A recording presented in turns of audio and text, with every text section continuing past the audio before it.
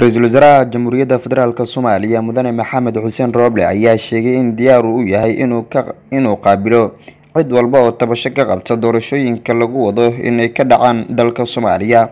Rooble ayaa sheegay inuu safar ku soo mari doono deegaanada maamul goboleedyada dalka gaar ahaan puntland galmudug iyo jubbaland xafiiskayga cid kastoo soomaali ah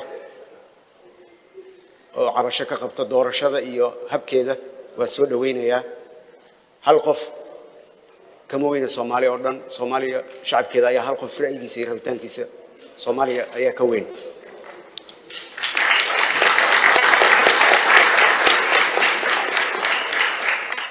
Safarkayga oo hadda ku wajahan sidaan ku heshiinay president deni inaan ku gaaro garoowe.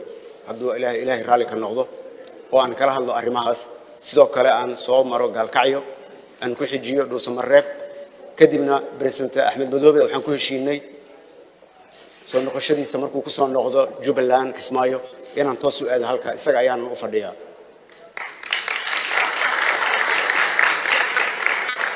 ولا عليه دنينا يا مستقبل كم الحين لماذا؟ يجنا وحن ليه هاي الباب كي ويدين فريه هاي.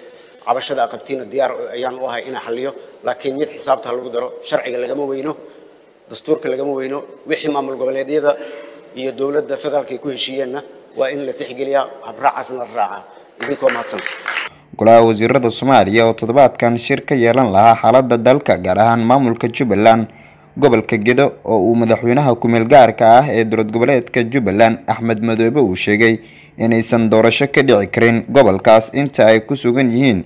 Ciidamada dowladda soomaaliya balse taasi ayaa u muuqata mid meesha ka baxday kadib markii uu ra'iisul wasaare rooble uu sheegay inuu aadi doono maamulka jubbaland cabduqaadir daawud warbaahinta c t